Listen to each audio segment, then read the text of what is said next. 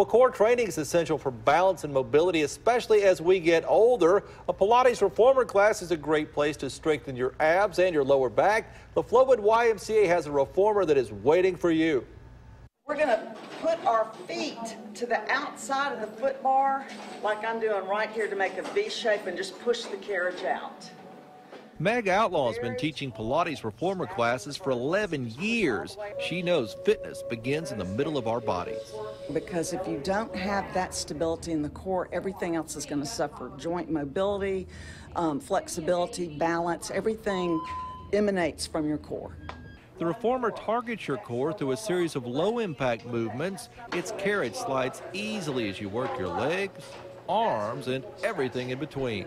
We have dedicated instructors who really focus on your movements in class, strengthen all of your body, and work on balance. Classes last about an hour and space is limited, so you will need to sign up in advance. When it's over, you'll know you had a workout. But there are ways to modify to bring it to every so that everybody can feel successful when they take the class. All ages and fitness levels are welcome, and nobody has to pay extra.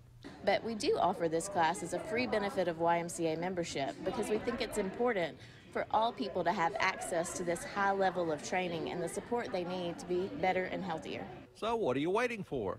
It's just a wonderful, wonderful way to begin your day or end your day. It is an absolutely wonderful workout to help with balance and posture. Working out in a class is a great way to build relationships too while you build that muscle. The Flowood Y also has boot camp classes for no extra charge. Members of the WJTV 12 morning team will go through one of those before this month is over. You're going to do a little cycling. I'm going to do a little boot camp, and yeah. Kelly will be doing yes. the yoga. yoga. Yes, you'll see me in the tree pose. Yeah. Yeah. Can't wait. It's going to be straw. awesome. But stop for